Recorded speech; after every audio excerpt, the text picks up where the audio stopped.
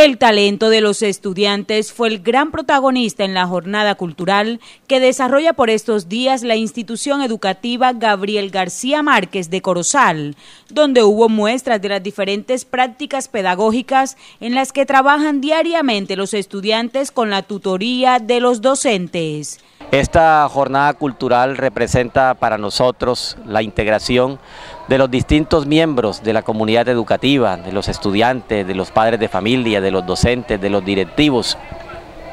eh, como, como manifestación de la entrega, de la dedicación, del esfuerzo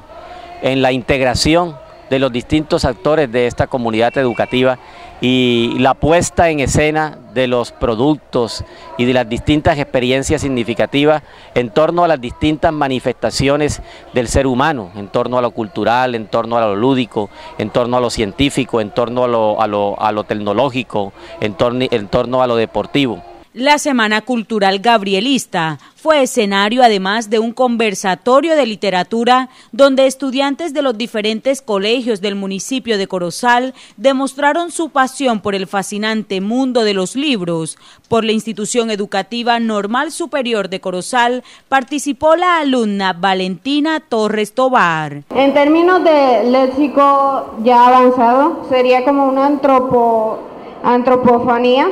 que sería la epifanía, o sea, el redescubrimiento. En, el marco de nuestro proyecto institucional educativo,